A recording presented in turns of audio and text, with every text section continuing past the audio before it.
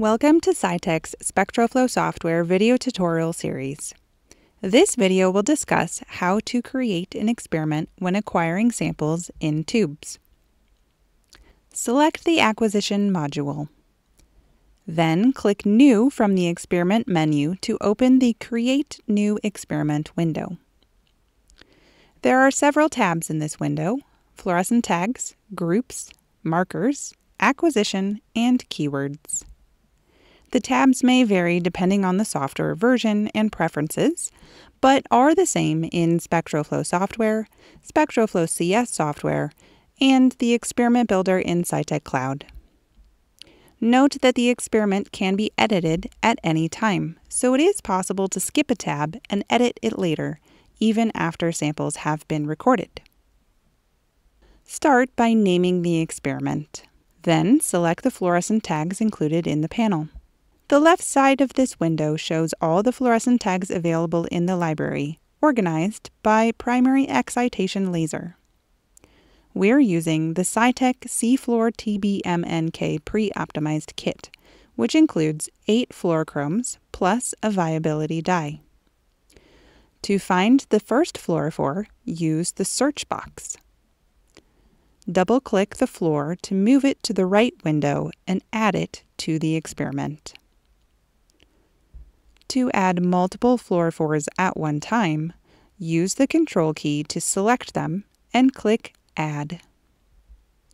A tip for finding fluorophores quickly is to type the most unique part of the name. For example, type 720 instead of CFluor R720. If an extra tag is added by accident, double-click or select Remove to remove it. If a fluorescent tag is not listed, it can be easily added to the library. Please refer to our video Adding Fluorescent Tags for instructions. Check the counter at the top to ensure the correct number of tags have been added. Then, click Next. In the Groups tab, select Manual Tube as the correct carrier type. Click this button to add the reference control group. In the Create Reference Group window, use the top section to define unstained and negative control tubes and the bottom section to add single-stained controls. The unstained control tube defines the autofluorescence of the multicolor samples, so it must match the multicolor sample type, experimental conditions, and preparation protocol. The software automatically adds one cell control for each fluorophore in the experiment.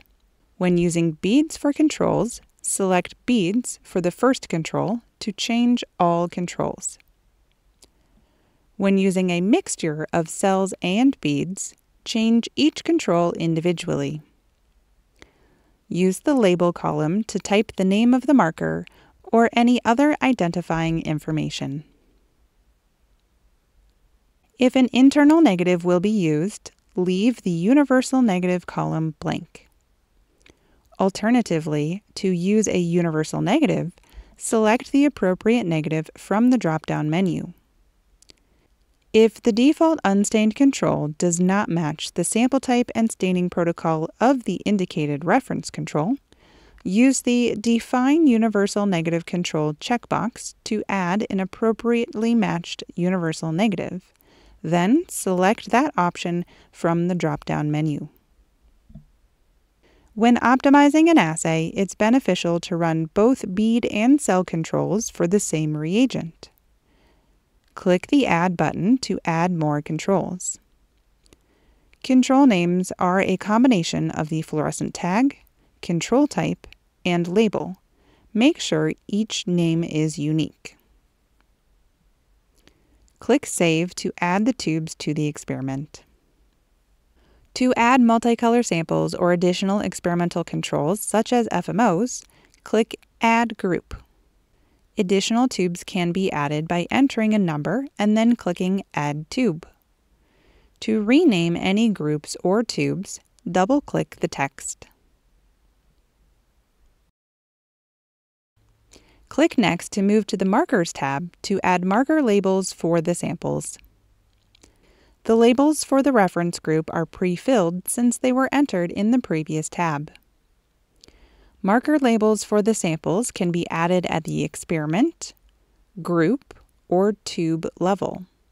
In this example, the labels are the same for all tubes in the experiment, so double-click the first box at the experiment level, type the marker, and press the Tab key on the keyboard to move to the next box. Alternatively, labels can be copied from the reference controls and pasted using keyboard shortcuts. Click Next to move to the Acquisition tab. Select the appropriate experiment user setting. We recommend starting with Cytek assay setting for basic immunophenotyping assays and adjusting forward scatter, side scatter, and threshold settings for each sample type. The stopping criteria for recording data is determined by events to record, stopping volume, and stopping time. The software will automatically end the recording when the first of these three conditions is met. These selections can be changed later as needed. Events to record defines the number of events within the selected stopping gate we recommend switching from all events to P1, which is a forward and side scatter gate in the default raw worksheet. 5,000 events within the P1 gate is an appropriate number for beads controls, but cells controls often need more events depending on the marker. These criteria can be modified after the data has been previewed and additional gates have been added.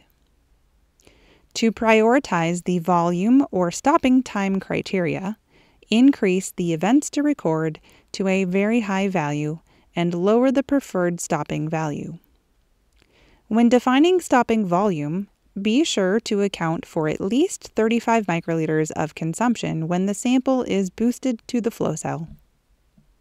For example, if the total sample volume is 200 microliters, it would be best to enter a value of 150 microliters. If the application requires both a minimum number of events and a minimum volume, check the Count and Volume option. The storage gate determines the data saved in the final FCS file. We recommend keeping the default All Events option if a gate is selected, only the events within that gate will be saved and all other events will be deleted. Click Next. Keywords are metadata saved in the FCS file, which can be recognized and used by other applications. The Keywords tab is completely optional and can be hidden in the Preferences module. The Keywords topic is covered in a separate video. Click Save and Open to begin running samples. To save a template, select the Save As button.